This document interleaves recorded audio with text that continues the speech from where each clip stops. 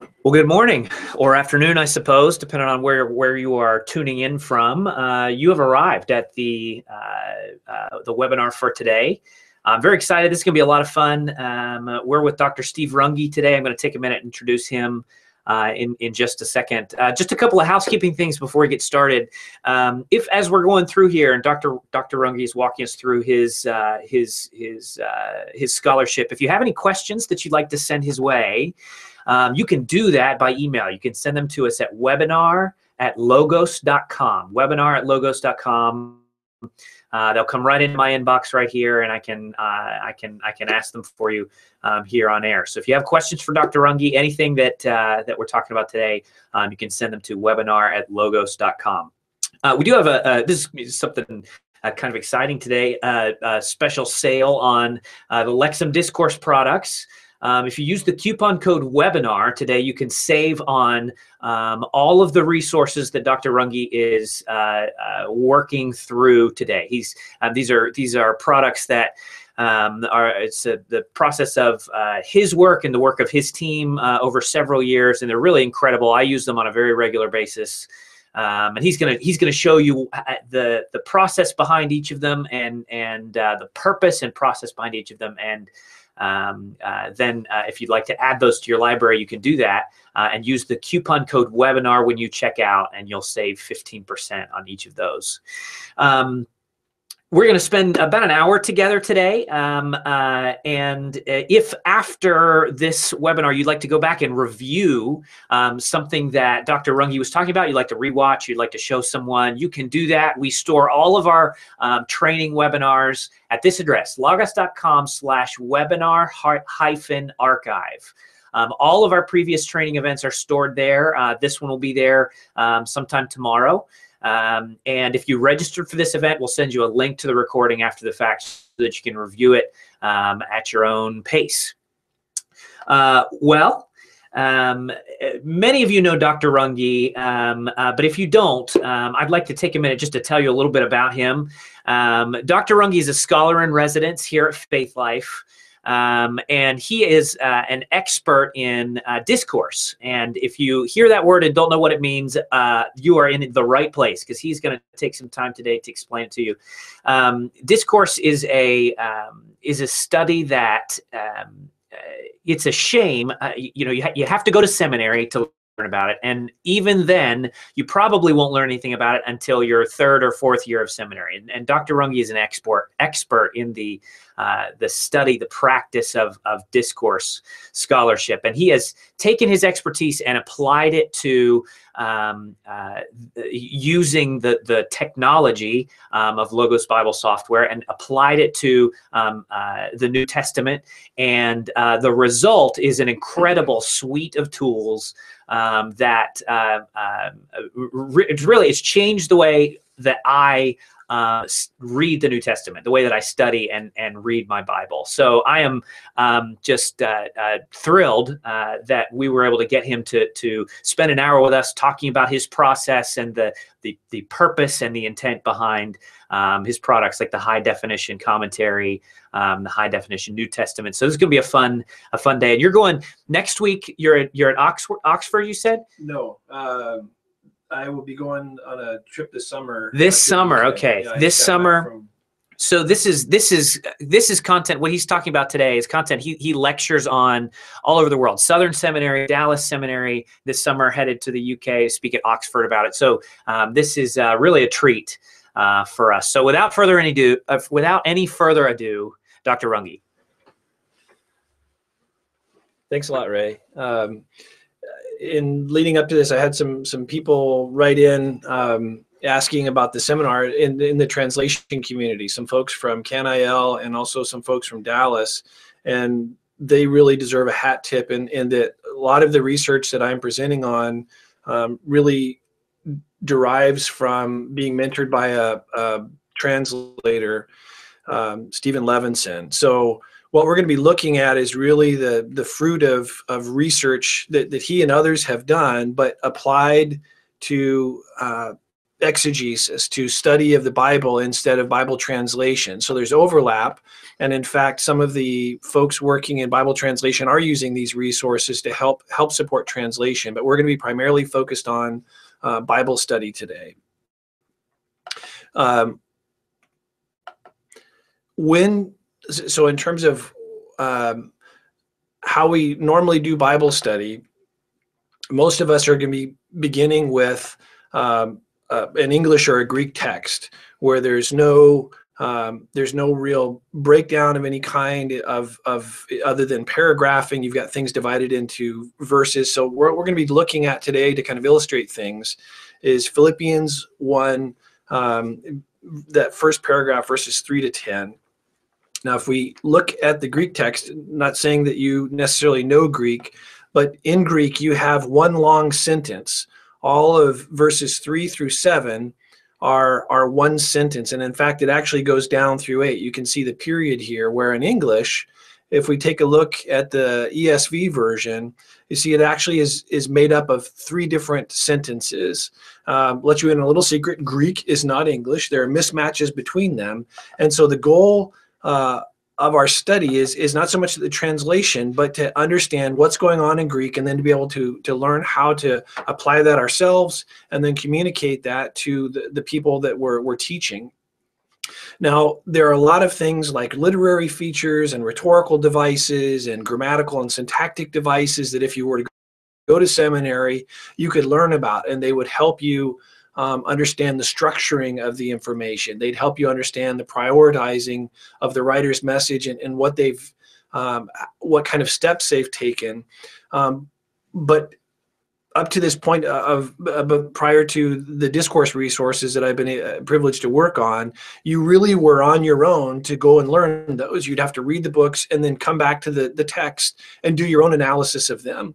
And as, a, as I was in seminary, I saw pastors who were struggling to learn those things. They, they had problems learning, you know, memorizing all the words and memorizing the forms. I, uh, on a couple short-term mission trips, I ran into church planters or national pastors, Bible translators, again, we're, we're struggling with that.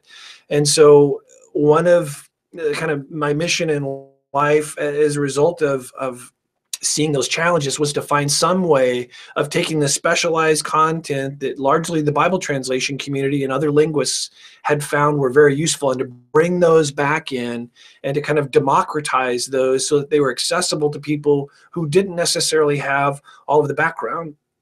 And that's really the spirit behind the Lexham Discourse Greek New Testament and the High Definition New Testament. Um, these projects were, were really something of an experiment um, to see could this be done? Could we take these kinds of projects, this kind of advanced information, and, and present it in a way that would be accessible? So let's kind of, if you look at the um, at these two screens here, you'll see that this isn't your standard paragraph wrapped text. There is a block indent outline and what this does is the, the structuring and the prioritization and the, the syntactic structuring that the writers have done, whether you know Greek or not, you can see that. So we see at verse one, there's a sentence that begins, and then it, it has, as, as you indent the different levels, that's reflecting the dependency relationships that are going on in Greek that again, if you had studied Greek, you had gotten through your second year, your third year, had done uh, additional reading, you'd be able to, to see that and know those kinds of things. But what we've done is, is actually reflected that in the typesetting of this resource. So you can see that you, you come all the way down to the end of verse 7 um, before you get to um, the next, you know, so you can see that there's the the sentence that began up in verse 3 lines up in, in the left column with the sentence that's down at verse 8 or the support. Um, and what this does is this helps you understand more about the structure even if you've not studied greek or especially uh, for those of you who have studied greek um, but it, it, it's gotten rusty um, and you're not as sharp as you were when you left seminary, and you're not going to go back for your DMin or your THM. The goal of this resource is to help draw people back into a closer reading of Scripture. Um, and we've got symbols and things that, that may be new, but all you need to do um, is hover over any of these elements. So if it's the, the left column descriptions or whether it's um, looking at, at some of the, the markups that are on the text, you, all you need to do is hover on these and you'll get a pop-up glossary entry that comes with these resources. So the first big benefit of these resources is to give you a breakdown, kind of simplifying the structure, um, especially for those of you who, who don't have Greek and, and there are things that are lost in translation. So you look at the ESV, we've got a period here at the end of verse 5, we've got another one at the end of verse 6, and then finally one at verse 7, where in, in the Greek text, it's all one long sentence. Again, we're not saying there's anything wrong with what ESV has done. Greek is not English. But the point is, is to be able to, to see what's going on in the Greek text in terms of the, the structuring and the syntactic decisions in a way that's accessible for, for non-specialists in English or in the, the Lexham Discourse Greek New Testament. Um, another thing that, uh, another kind of device that you'll find that there are um, rhetorical devices there are rhetorical devices that, again, if you did enough study in Greek, you could learn about. So uh, one of these things would be cataphoric demonstratives if you were to, to have studied Greek. We have an example of this in verse 6, but we don't call it a, a cataphoric demonstrative. It's a forward-pointing reference and target. And these are things that we use all the time in English. If I'm wanting to, uh, to, to to forecast or, or, to telegraph something that's important that I'm about to say, I'd say, all right, here's my point, or this is what I want you to do, or or here's my best offer, where here or this is referring ahead to what I'm about to say instead of doing what pronouns typically do, which is referring back to what I've already said. And so we've identified this rhetorical device where you've got the little arrow uh, on either side of the, the pronoun that's pointing forward. And then you've got a target on either side that's showing you what it's pointing forward to. Um, and again, Philippians 1 6 is, is one of these very popular uh, memory verses. And I'm sure of this. So, in terms of translation, a colon would work really well there. I'm sure of this colon that he who began a good work in you uh, will bring it to completion at the day of Jesus Christ. So we've identified this rhetorical device where Paul's drawn attention to something, this important idea, which is the fact that that God will complete this work that he's begun in us. And he's done that by drawing attention to it with this forward pointing reference and target. And so what this resource does, both of these resources, you'll see that you've got the same kind of markup in the Greek text as well. What you're seeing in the ESV is not an, an, an analysis of the ESV, but it's actually an analysis of the Greek text. Um, what I did was uh, found the, the most um, fruitful and e easiest to understand devices and went through and annotated the Greek New Testament. So this is for those of you uh, Greek nerds out there, fellow Greek nerds, uh, the Nestle, uh, the Nestle Aland um, 20, uh, 27th edition is what we've marked up. Um, and then we've used uh, the, the, logos reverse interlinear alignment to to port probably 70% of that data. Some of the data doesn't work well in English, so it's it's not all been brought over, but the vast majority of it has been brought over. So what you're seeing is actually in in the ESV, in the in the HD and the, the high definition New Testament, you're seeing a markup of the Greek text but overlaid on the English on the English text, um, which is again something you, you you're not going to have access to or find anywhere else. So both of these resources are going to help you understand um, the structuring of the text, the syntactic breakdown, the dependency relationships. We've looked at um, some of the rhetorical devices like this forward pointing reference and target. But you'll see that, that there are other things as well. So this double, uh, this double silhouette, a change name. Um, so, and notice that it's, it's talking about he who began a good work in you big question is who is that? One of the, the kind of prime directives when you're speaking or writing is to make sure your your hearer or reader can know who's doing what to whom and typically we'll introduce someone um, and and assign them a name and once we've assigned them that name you expect that they're going to stick with that unless there's some reason because uh, otherwise potentially you'd you'd lose people um, you'd lose people and and have them not understand um, who you're referring to. So there's this risk in changing the expression.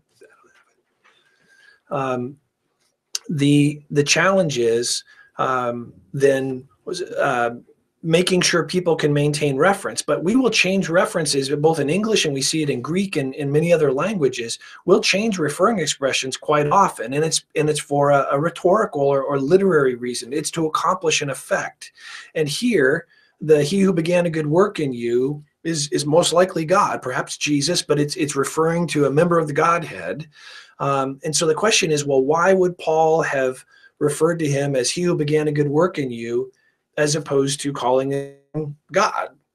Well, what what these changes of reference do is it it forces us as readers or hearers, or at least it's directing us, it's the writer's directions to, to shape and constrain how we think about that person or that thing.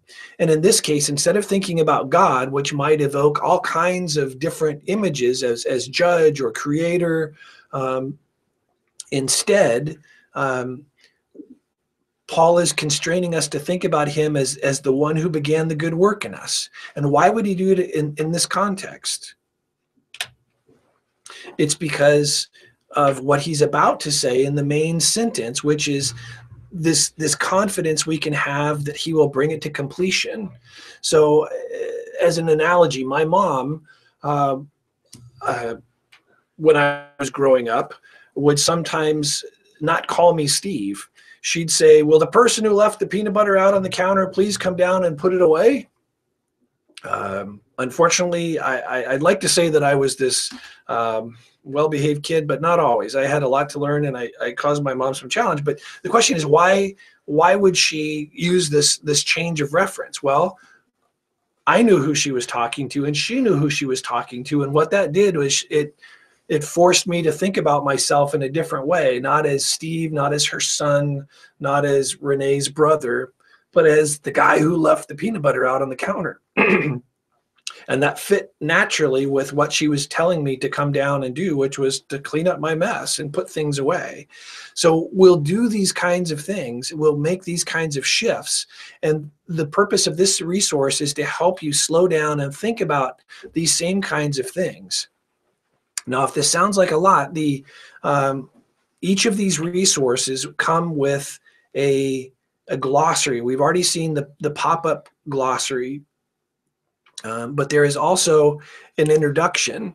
Um, so in the HDNT, the High Definition New Testament, um, there's a, there's about a, a I think it's a 30 or 40 page introduction in the Greek database. Um, it it's about a 75 page introduction, and what it does is give you a basic introduction to the kind of the, the framework that we're using, how how these ideas fit together about choice implying meaning, prominence, and such. But then as you're actually working through the individual um, devices, there's a general thumbnail sketch, which is the glossary introduction, kind of an explanation of what does this look like, and then working through a couple examples to show you what we're talking about. Um, and the goal of these resources, the, the, the, this, the metaphor of the high definition New Testament, when I was growing up, TV was changing. I think we first started with a black and white TV, and then things changed to color. And, then as an adult, the high definition televisions came out, and it was it was dramatic because all of a sudden you could see things that had always been there. They'd always been there but you, you could see such clarity, such detail watching a golf, you know, watching a golf game. I wasn't into golf, but I just liked seeing the, the, the amazing detail or, or in baseball. You could see blades of grass, you could see shadows. And, and that's the metaphor behind the high definition New Testament, calling it HDNT, is that these devices, the, the, structuring devices, the rhetorical devices, the literary devices, they've always been there. And and that's why you see it reflected in the, older grammarians from the turn of the century that, that saw these kinds of devices and talked about them, the translators, and, and you see reference to these things in the technical literature. Um, so it's not that I've I've discovered something that's it's always been there. The point is it's helping you see them in a way that's understandable and accessible. So in terms of of, of kind of how these resources work, um, the the high definition New Testament comes with a glossary and the introduction. So there's a three volume bundle.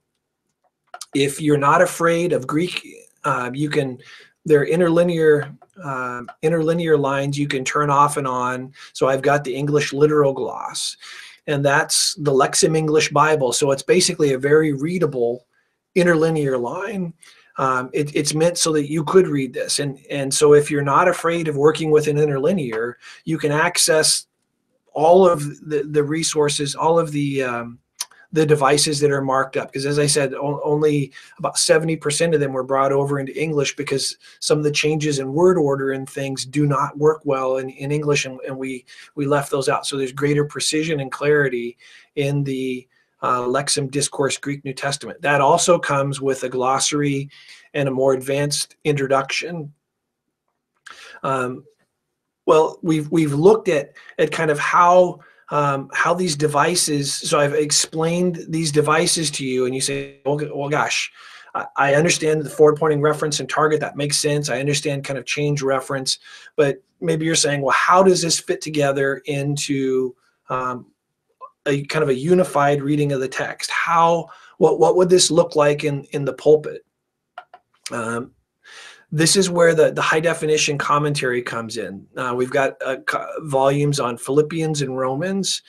Basically, uh, the president of the company, Bob Pritchett, came into my office one afternoon and, and said, Steve, you're really excited about uh, discourse analysis and linguistics and what this has to offer for people. Well, prove it write a commentary that my mom could use in her Bible study, um, and and that would be accessible for people. That would not dumb things down, but just simplify it to where they could really see the practical payoff that you're claiming is there.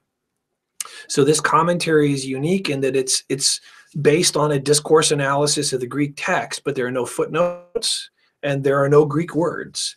It's meant to be a, a an accessible talking you through the flow of Paul's argument um, to help you see how the different pieces fit together. But it also features infographics that will help you see how the kinds of things we just talked about with the forward pointing reference, um, how they could be communicated to uh, to a small group Bible study, or if you're if you're preaching or teaching, um, to be able to have slides that you could use on a Sunday morning. So here we've got a slide that illustrates the forward pointing reference. Um, and all I need to do is right click on this, click on image, and I can send this to Proclaim, to Keynote, or to PowerPoint, um, a, a, professionally designed graphic um, that I can use in my, in my preaching or teaching. Um, and then again, I talk about this idea of he who began a good work in you, that changed reference again, I, I kind of talk through metaphorically how there are all kinds of different ways we could think about God. Um, and, and so if you think about, you know, the books about names of God and the different titles for God, some of those things might come to mind, but by switching and changing the reference, Paul is narrowing down that potential list to one and it's the one that he wants us to think about based on what he's about to say which is that confidence that we can have that god will be faithful to complete that work he began in us. And if he had just called him god and said god will complete the work that he began in you that would have been a more simplified way of conveying the same content. But by using that changed reference it, it changes how we think about God in this context and, and makes it a much more memorable and a much more evocative kind of, of uh, verse and, and one that we're much more likely uh, to, to memorize. That's why I think it is such, uh, such a popular verse. Uh, now, when we we ship the uh, the high def um, this first volume of the high definition commentary, um, we did a survey of people to say, um, what did you think? And we had a very positive response. And that's what led then to going on to, to doing a, a volume on Romans. Um, so basically, this this high definition commentary will talk you through the kind of what is very complex argument that Paul's developed, uh, but it also features features infographics that will help you better understand the text. And so, again, popular verse now, apart from the law, the righteousness of God has been revealed. that's attested by the law and the prophets. What we've done. Um, is taken all of the the different details that Paul has provided, like being um, attested by the law and the prophets and kind of reflected in in a modern way um, like in terms of marketing why would paul have included these details well it's to show you that that it's gotten a thumbs up from the law and the prophets and so again some some kind of playful ways of helping people slow down and think about uh, the details and then each of these slides has uh, has a a caption that basically would tell you, you know, if I'm preaching and I've used most of these slides in terms of teaching and preaching, uh, this is really reflecting the high def commentaries, reflecting how I would teach through the text in the Sunday school class. Uh, so it's going to help you not just in your own personal study, but potentially then in, in sharing that with others, uh, where you have um, Greek ideas. So for those of you uh, Greek nerds, you know, the, the the conjunction gar that's generally translated for, we don't. Um, I'm not ashamed of the gospel, for is the gospel, or for is the um, uh, for in it the uh, for this yeah. At any rate, we have this whole chain of fours and in English, we don't use for in that way. We would use rhetorical questions. So we've reframed this development of thought in Romans 3.22 in a way that, that is more natural in English. Again, it's not to say that there's anything wrong or, or a problem with the translations. It's, it's helping people understand Greek on its own terms as Greek um, so that you can do this kind of apples to apples comparison rather than trying to translate something that doesn't really fit as, as naturally in English. Um, one of the comments that, that came back um, was some of the after some of these early projects was people saying, "I want to see more detail. I want to understand more how you got from A to B," and so that's where we've we've gone and added um, other materials. So the, the the high definition New Testament it's based on the ESV text. So that's the the analysis of the Greek um, the Greek text that's been ported over to the ESV. Um, the three volumes are the HDNT itself, the introduction, and the glossary. Um, we've also got a bundle that's the Lexham Discourse Greek New Testament. That's the Greek analysis, but it, you'll notice that it's six volumes, and that's because you get the glossary and, and introduction with it. But if you buy the Greek database, the the HDNT comes along with that. It's all part of that um, in a bundle. Um, so if if you're not afraid to work with um, an interlinear text um, and you want access to those additional details, then, then this might be a, a good option for you. Um, the high definition commentaries are basically taking that Greek analysis and moving it into the pulpit or into a teaching setting to give you ideas of, of how you could um, convey some of these complex rhetorical devices or literary devices, but more importantly, the, the text of the commentary talks you through the, the flow of the argument to help you understand um, and, and track what the writer's doing and to recognize how where they've prioritized things or structured things um, to, to shape how we think about the text once the New Testament database was done, um, I took a summer and wrote a discourse grammar. And this grammar is being used in intermediate Greek classes uh, in some pretty significant seminaries Southern Seminary, Southeastern, Dallas, uh, Southern, some of the schools overseas as well. Um, so this is again for those of you who've had greek this isn't something where you're going to be required to go back and relearn all your forms and all your morphology. This is designed to, to get you back into the text. Or for those that are um, looking for what am i going to do this summer to follow up after first year greek? This is a great read um, and provides an accessible overview um, that goes beyond the introduction um, that you'd have in the lexham discourse greek new testament. It comes with footnotes and um, and also correlates these findings with the older grammarians. So this is a great way if you studied Greek, you're interested in grammar, to see how these how this kind of what looks like a new approach reconciles. It's actually um, I, I, demonstrate that the the older grammarians were seeing the same things. They just lacked the framework to describe them. Um, but if you're interested in say, okay, I'd, I'd really like to to get the, the database, the grammar, Philippians, there's a bundle, um, this nine volume uh, New Testament uh, Greek New Testament discourse bundle, you'll get the high definition commentary, the or the, the high definition New Testament, the Lexham Discourse Greek New Testament, the discourse grammar, and then the Philippians commentary. And then as well, there is a, a volume honoring my mentor, Stephen Levinsohn of SIL, um, that's also included in that. Um, we've been our team, our discourse team has, has expanded in the last couple years, and we've actually just completed the Old Testament counterpart to the New Testament databases. So there's the Hebrew Bible analysis, um, and then there's an ESV version of the same. So it's it's using the same framework as the New Testament, uh, the same kinds of devices because we're using a cross-linguistic framework. It's not something that's idiosyncratic to Greek or English.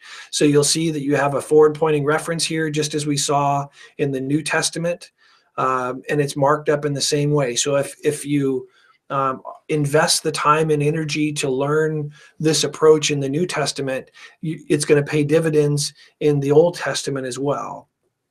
So there's a bundle um, that's available that has the New Testament and the Old Testament resources all together. And if you end up, um, and with Logo, Logos has dynamic pricing. So if you were to have bought the New Testament databases in this nine volume bundle and then went on to buy this other bundle, you'd get credit and a discount then based on your purchase of the New Testament volumes.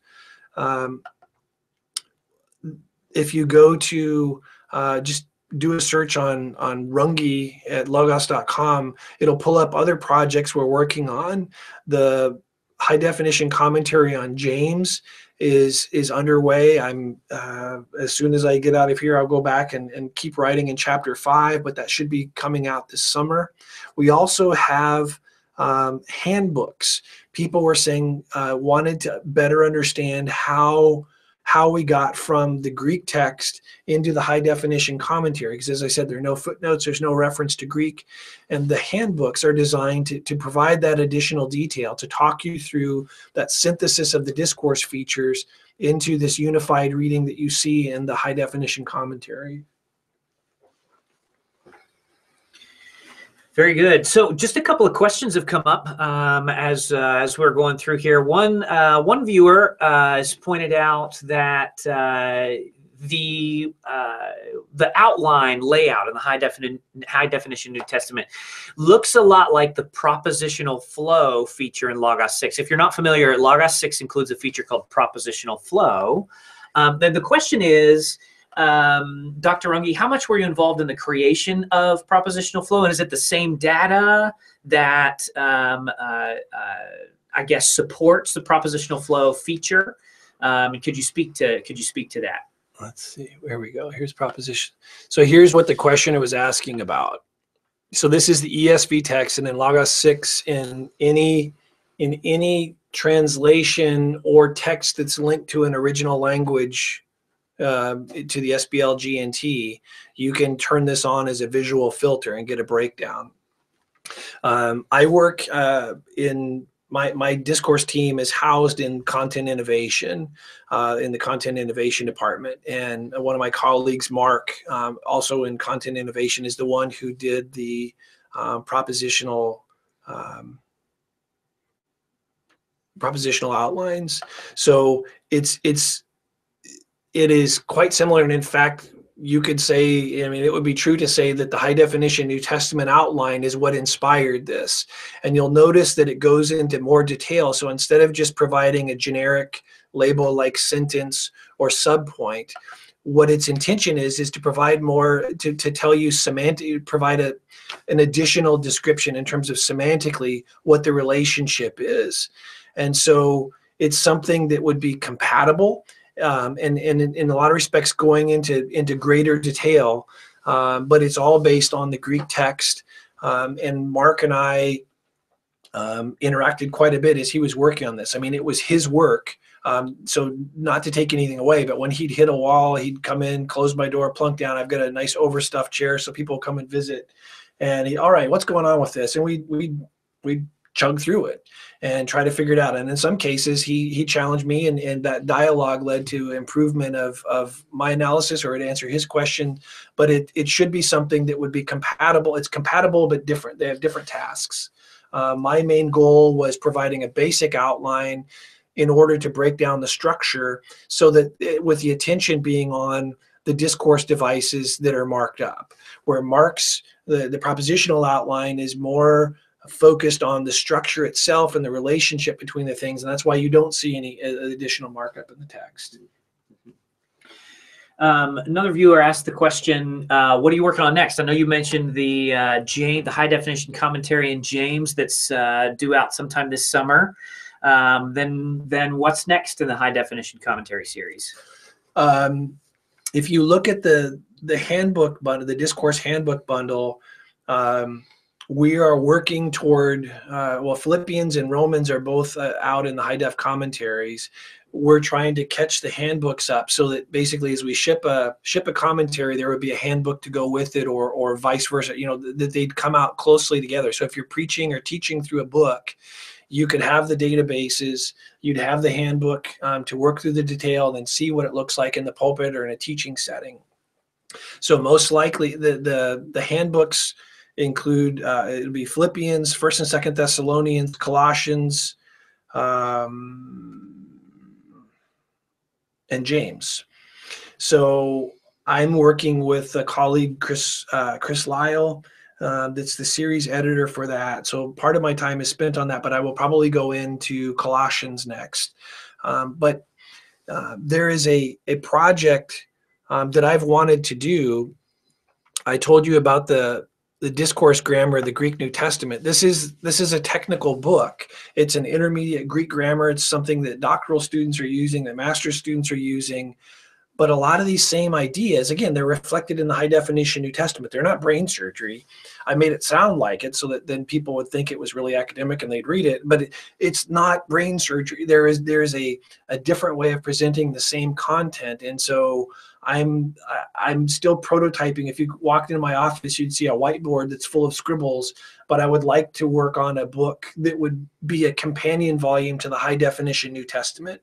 But instead of it being a discourse grammar and getting into technical things with lots of footnotes, it would be kind of a prequel and more along the lines of reading the New Testament in high definition, where it would be teaching you reading skills and how to to step back and think about how and why we read, because that ultimately goes back to how God has wired us to process language as human beings.